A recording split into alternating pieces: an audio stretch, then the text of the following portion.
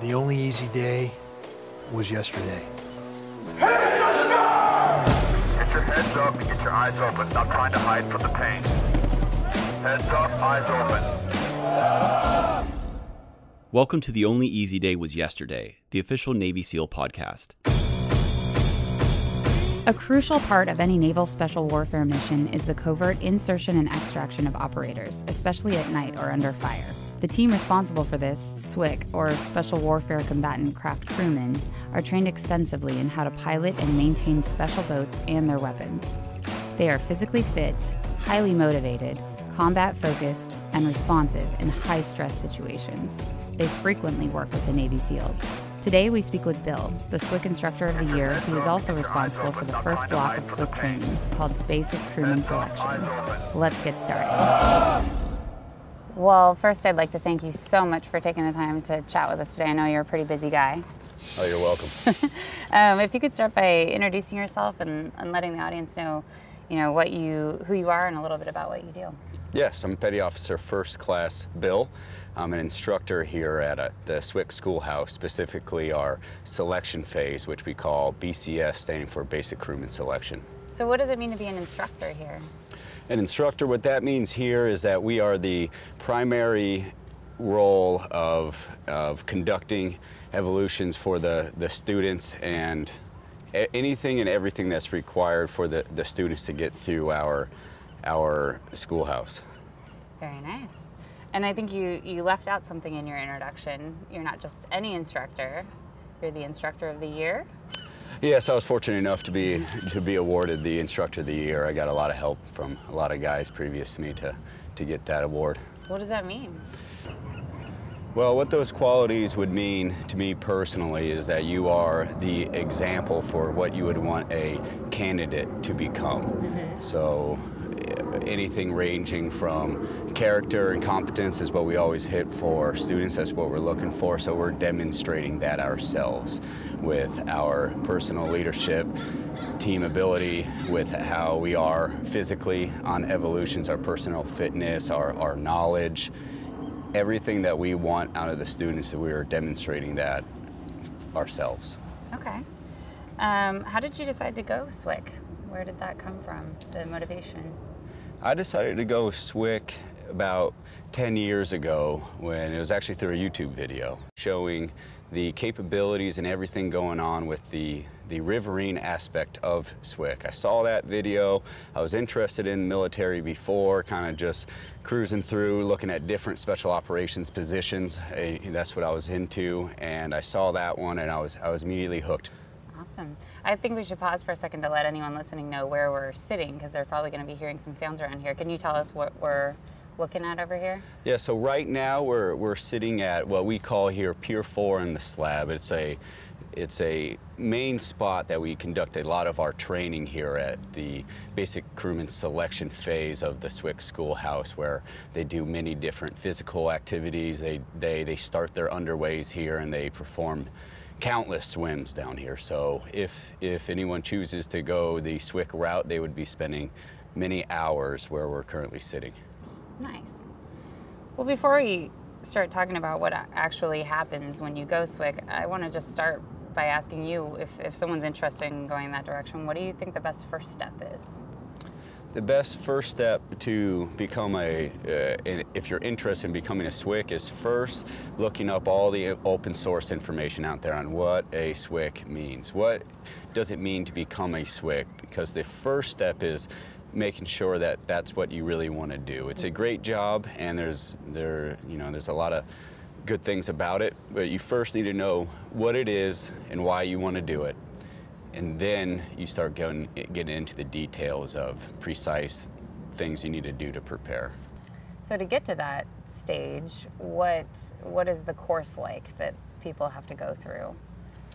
The the first course would be the physical preparation. Okay. So actually on the SEAL SWCC website there's an extensive amount of information on what physical standards someone should be at to be properly prepared and that's where you would first want to look to see the the the running time should you should have swimming push-ups pull-ups sit-ups general body calisthenics mm-hmm. that, that someone should be at so that they have a good shot at making it through.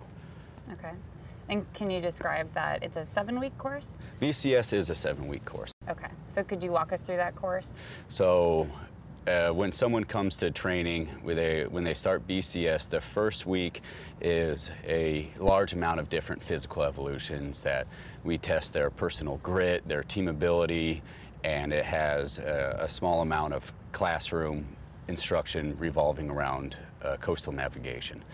So there's a lot of different physical evolutions um, based off things such as running, push-ups, pull-ups, sit-ups.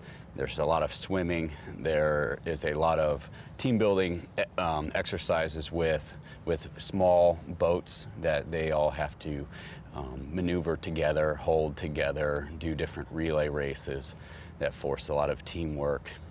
Is It- that, uh, before we move on to the next phase, personal grit? That's an interesting phrase. Grit would be a huge factor for our selection course. Um, not the only one, but it is a primary factor. And the, the entire course is both developing and testing grit. So uh, it's a combination of we're selecting those with enough grit and, and uh, we are developing grit at the same time.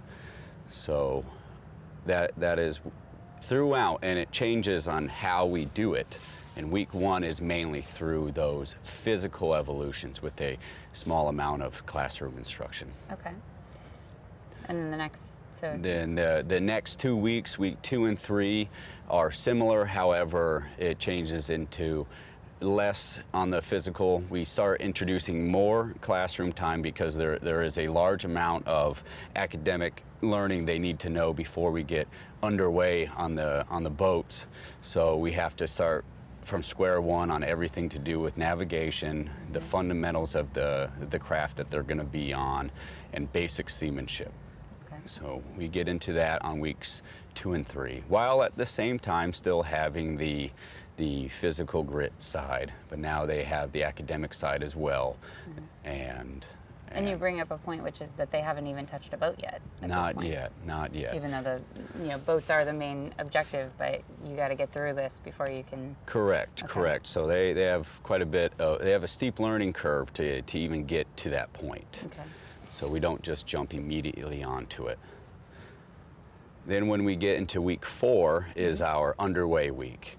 We also have physical test gates. Okay. So it's less about grit building on this week and it's more about performance. So we're going to be executing everything we've learned and you're also going to have to execute um, your, your physical performance on this week. So both. We start getting underway, start doing all the basic underways, mainly revolving around navigation, but we also do anchoring, towing, hull inspections, some other fundamental seamanship skills. At the end of that week, then week five is our is our crucible week. We have the tour, and then the Crucible week. yes. Okay. So the Why is it called that? it's not called the the crucible. okay. So it is called the tour. Okay. Week five has the tour, and what I meant by that is that that is what basic crewman selection is leading up to. Okay. So the first four weeks is all leading up to the week of the tour where they put together everything that they've been learning, and we call it a day in the life of a boat guy. Mm -hmm. So it's three days of minimal sleep, testing them on everything they've been learning, and a huge amount of physical activity. So they're going to be wet, cold, tired, and tested for three days straight. Talk about grit. Yes. Jeez. So once they get through that week, there's a phase line within BCS. So that's when the students get their brown shirts. They transition from white shirts to brown shirts, and then that's a symbolic uh, transition that they have been selected for for further training. So they've made it through our tour, and those students have demonstrated the capability and grit to transition into the next phase of training. It so is if still anyone happens to be walking around Coronado and sees a bunch of guys go by in brown shirts, that means they have. they know that they've made it through the tour. Okay. Then we transition to week six. And week six is when we start getting into more advanced skills. It's still fundamental. And we get into basic driving. Up to this point, the students haven't been driving at all. All they've been doing is the navigational side, learning the fundamentals of what an engine is and everything else. So we start off the week with teaching about maintenance on crafts, official maintenance, and and how to drive the craft. We, we start off with the smallest craft we have in our inventory. It's a small rubber craft where it is called a CRRC, Combat R Rubber Raiding Craft, and it uses a small 55 horsepower outboard motor so we put that on the back of this small craft and they practice basic maneuvering, driving straight, doing different turns, mooring up onto the side of other boats or piers, and the fundamentals there with driving. That's how this week goes. It's different underways, a lot more classroom now. Min the PTs go into more of um, the, on the minimal side. They, they're always going to PT for their entire SWCC career. Then we're transitioning into week seven, and that's the last week of basic crewman selection. And during this week, we we culminate everything that they've learned and we do what's called an FTX, and that's a final training exercise. So they get taught some basic mission planning. They know how to drive these small CRRCs, and we give them a mission, and they go ahead and execute this mission under instructor um, surveillance and we, we grade them and, and that is the culmination of everything that they've done in BCS. Wow. So they get to see and execute what all their hard work has led to. Wow. And of all these stages, would you say there there are one or two where you lose the most amount of people? Absolutely. So we you lose the most people during week one and week five. So week one being the first week of BCS, it's a it's a shock to a lot of candidates that come through, and it's a it's a steep curve for many people. And then we also leave a, lose a significant amount during the tour, where they go three days straight and they're on minimal sleep, cold, wet, and tired the entire time. So, what would your advice be for someone uh, knowing that? You know, you're on the other side now, you can see what holds people back. My advice would be starting from the time that you want to become a SWCC, developing grit within yourself. So there's great information out there publicly, open source, they could just check out right on the SEAL SWCC website on what they should be doing to physically prepare. Mm -hmm. And they, you need to immediately start working towards those targets and if you hit those targets, exceed those targets, never be satisfied, and every single day be building a habit of grit. And they can do that indirectly, even though they don't have these exact tools, just through their lifestyle. When they're working out, are they truly pushing themselves? Or do they listen to that little voice in their head that, you know, tells them that they want to stop or slow down and, and and do that? Are they, do they set themselves a rigid schedule or are they letting themselves just wake up every day in the morning whenever they want to? Are they doing everything they can to start having a lifestyle of grit is hmm. what I would suggest to anyone that wanted to become a, become a SWCC. Lifestyle of grit. I like yes. it. What did you do to to get to this place? How did you prepare before you, when you decided you wanted to go that direction? 10 years ago, there wasn't the SEAL SWCC website with as much information. Wikipedia had the, the entrance scores required. I was working at the time, so I would wake up before work to go use the pool every day and and just work out twice a day until I came in. I would I would um, I had quite a big deficit to do with things like pull-ups and other upper body physical because I grew up playing soccer. So that was where I had the biggest improvement that I had to make. The running, um, I had to mainly just maintain. At the time, I was a decent runner, so I was still working on it. However, the, the swimming and the upper body strength, I had a, a lot of work to do. So that's where I devoted most of my attention to try to become the best overall possible. That's good to point out to people that might think that because they're not the best swimmer right now, there's no reason they couldn't get there. No, absolutely or, not. Or any other form of Absolutely not. If, if there's enough time and there's information out there that if this is what you want to do, you anyone out there could through enough personal effort become ready. If you haven't ever swam before, there's great information on there on how to swim. They need to learn the combat side stroke and practice it every day until they feel uh, good enough at it and then do it a, a standard amount for the, the workout templates that are out there, maybe three times a day. If they if they didn't run very much growing up, then they, they're gonna need to work on that. And usually what's much different for people is being comfortable in the water. I grew up on the west coast, California, so I was able to go into the ocean pretty often, you know, so I had an advantage of being slightly more comfortable in the water than someone that's never been in the water before. So that is, if they don't have access to the ocean, they, they absolutely need to get in the pool as much as possible and just get um, comfortable in the water, and that's by spending more time out in the water. And and it also sounds like you don't necessarily have to know how to drive a boat.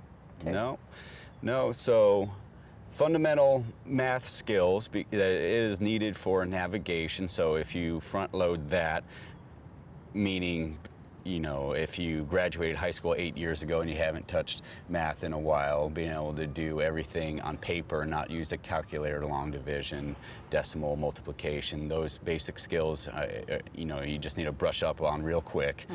But everything else we will we will teach you here with to do with navigation, with the with the boats, with engines, with communication radios. The the training is extensive when they get here and as long as they're willing to pay attention in class and do their homework, they will have ample opportunity to perform at their required needs. Do you think your job is pretty cool? Yeah, I, I do. Uh, the- It looks job- cool from the outside in. Yeah.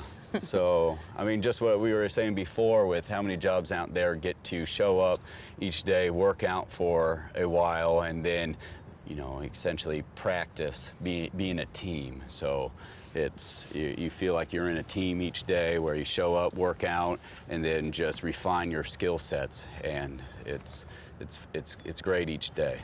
What about when you're actually on a mission of some sort? What do you mean by that?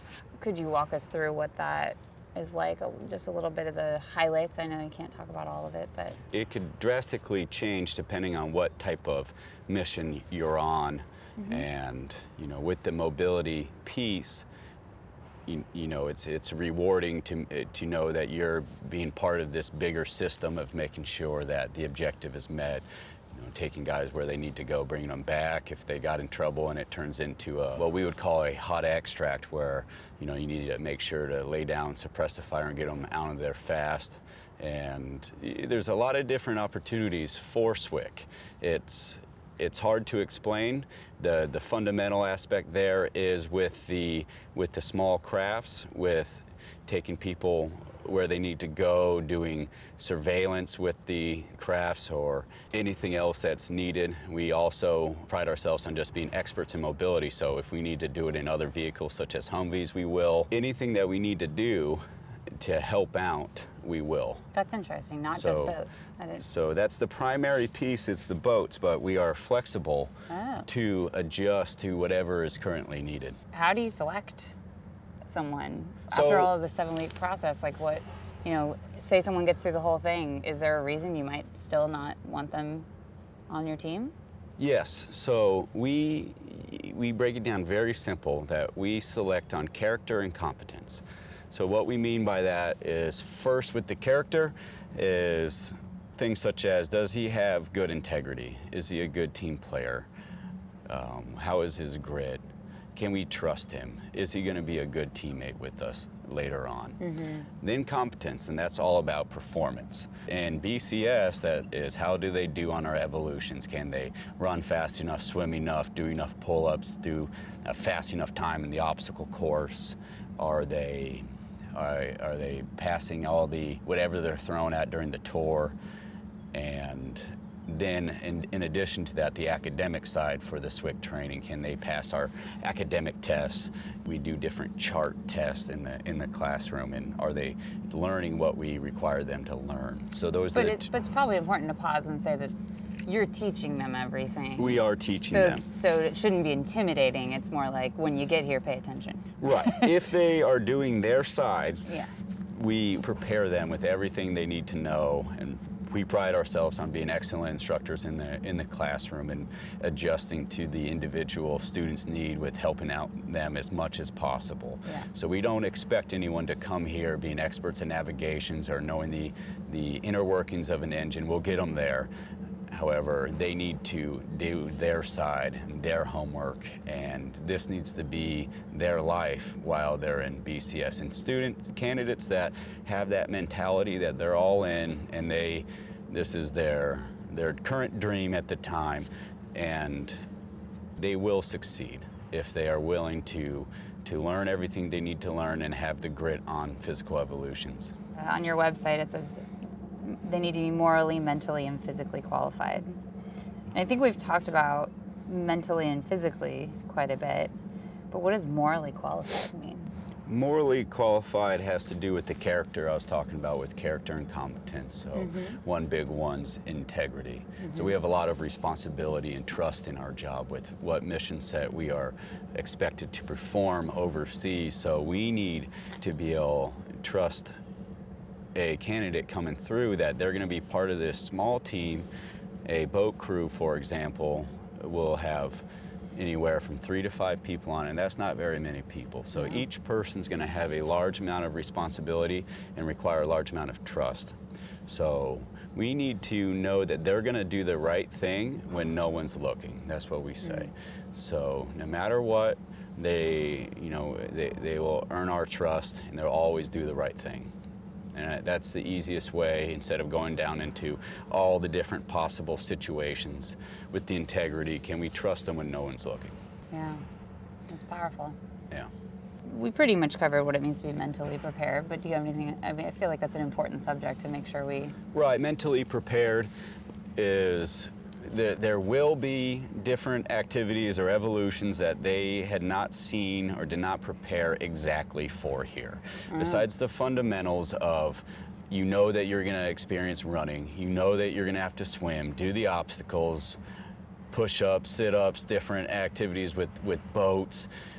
You know that that's coming, but there's going to be something that that comes that you you weren't exactly ready for, and at that moment is when you're truly tested that that you need to be short-sighted and just know that you could get through it and it might feel overwhelming at the time but just push through. You know you go through a lot of work on a mission and execute the mission as a SWCC and you everything goes smoothly comes back not too eventful However, in, in, the, in the time where you're needed the most, it will be a very stressful situation where you got to have a lot of mental fortitude to know that you're going into a real bad situation and you got a high chance that it's not going to go well. And you mm-hmm. got to stay focused and make sure you do your part to get them out of there. Otherwise, it could be catastrophic for whoever you're working with and then in turn for, for yourself.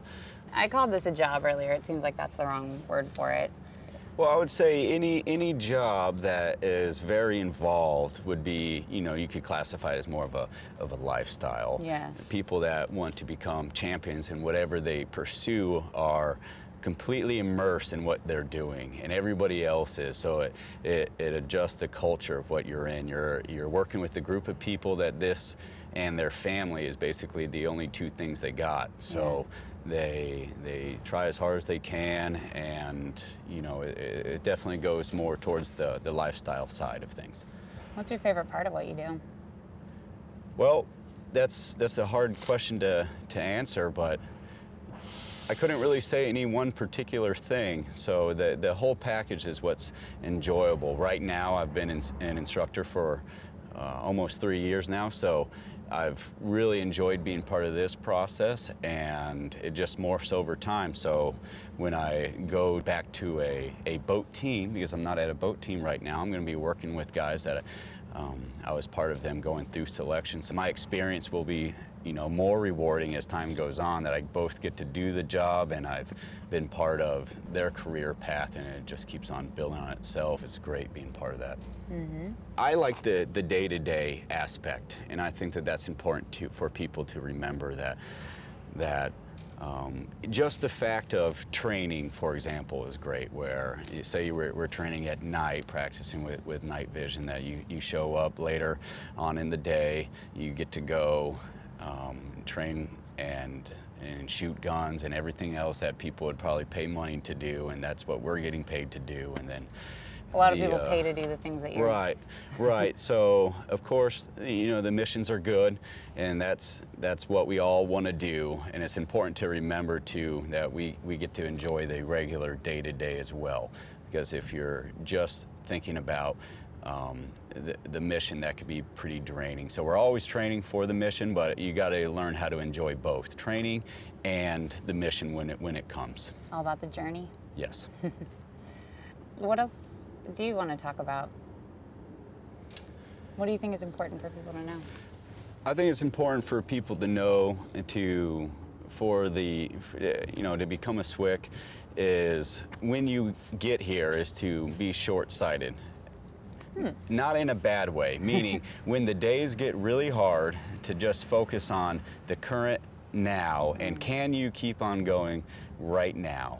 And when it feels overwhelming and let's say for example you're not a gifted runner and you're struggling on a run can you take one more step? Can you push yourself a little bit harder? And most people will find that they do have a, a little bit more in the tank. And if they start on that right now then they'll, they'll be in a good place months later when they get to here or when they're really cold at nighttime. Are you so cold that you absolutely need to be warmed up right now? Meaning, are you at a health risk or is it just very uncomfortable? And it, it will most likely just be that you are uncomfortable and and I am not suggesting for people to get themselves cold. I, that is something that they need to just deal with when they have to. However, You can't uh, train for that, is no, what you're there's no reason to be training for that. so they just need to practice PTing, uh, physical training is what I mean by that.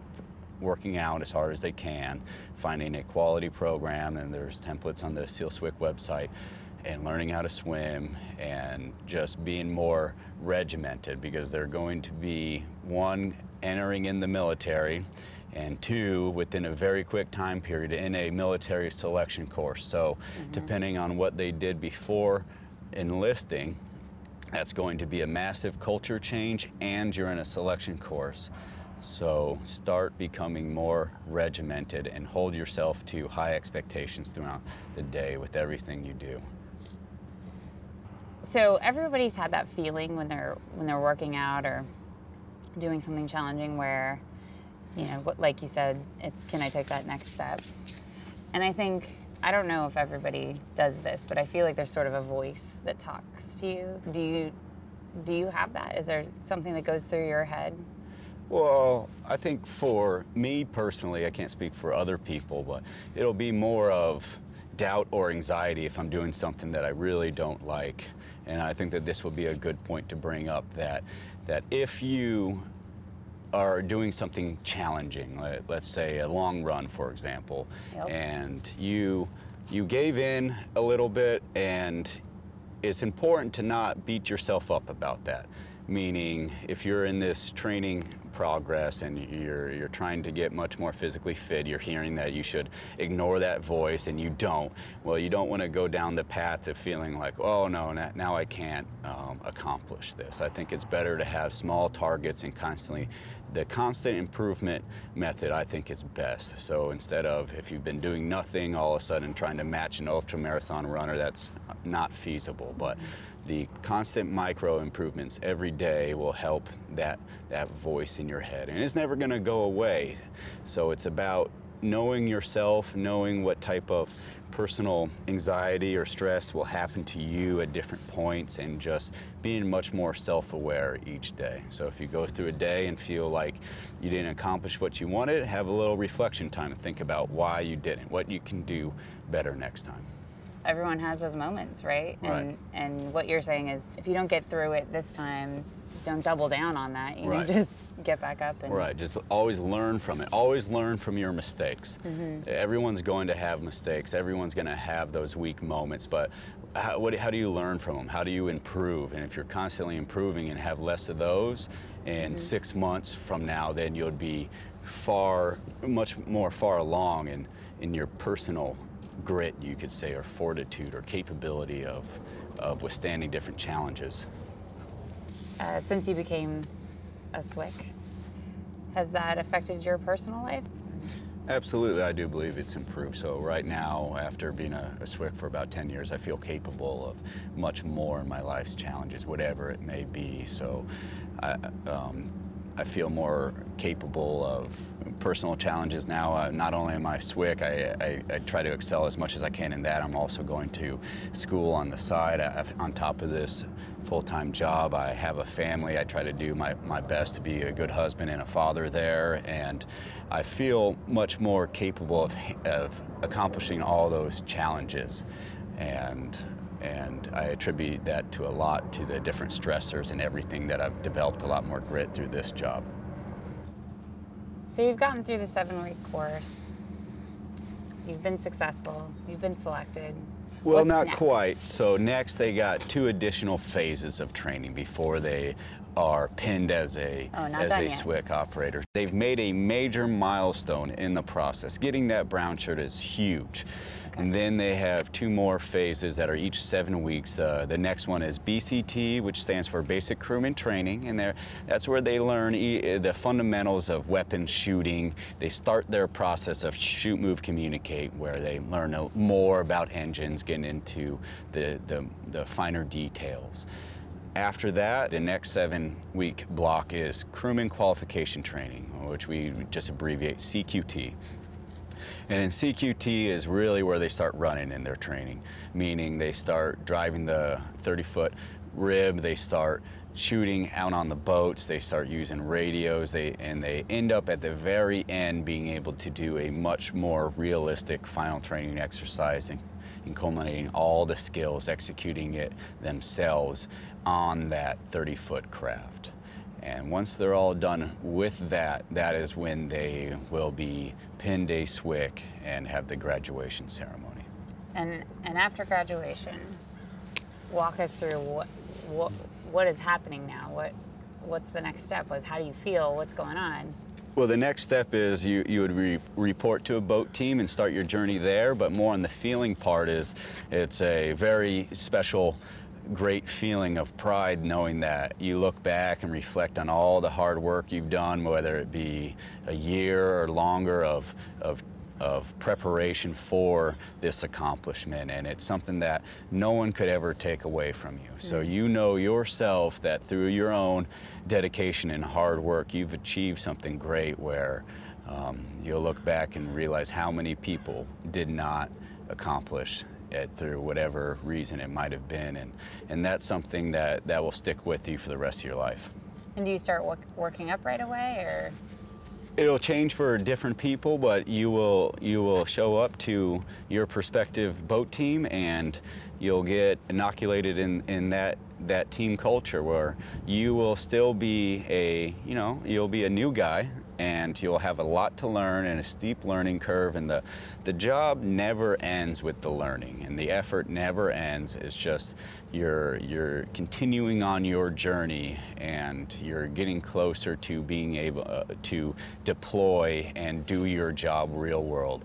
When you're pinned as a SWCC you're you're not quite a self-sufficient boat operator yet. Uh, You're you're you've got a lot to learn before you're before you're ready to deploy as a boat guy. However, you have validated that you've done what it takes to become a SWCC and you instantly are part of that that team and everyone brings you in and everybody knows that you've got what it takes to be here. and it seems to me like uh, you guys, you really support each other. You want, I mean, it's, it's more than the average Absolutely. workplace in terms of support goes. Well, yeah, so everybody knows that you've been through that selection course and it brings an instant bond to each other. So if you go to a different boat team or around different boat guys that you've never met, you have an instant bond with them and uh, you know, you gravitate towards them if you're in a group of people that are a, a blend of boat guys and not boat guys. Of course, the boat guys are going to come together and want to talk and and uh, hear you know their past history of what they've done at the teams or different things and and that's another special thing that you know that you only get through going through this selection course And what's your first mission feel like? well that will be different for a lot of people depending on what type of mission but it's a good feeling knowing that what you're doing is for the country or for that mission set there's very few people in the United States that are able to do that. So you're, you're being part of history, essentially. There's a huge amount of important jobs for the country, and this is absolutely not the only one. It's just that you know that you're being part of the greater system there in a, in a special way, and you've worked very hard to, to do it. So you're having direct impact, and you're, you're part of a, a huge amount of people that are, are part of that system that aren't just SWCCs. And, and it's it, uh, it's good to look back on in your life later on and know that, that you did that. What motivates you? It's always good to reflect, and I know 30, 40 years from now, when I'm not in this job anymore, I was part of that.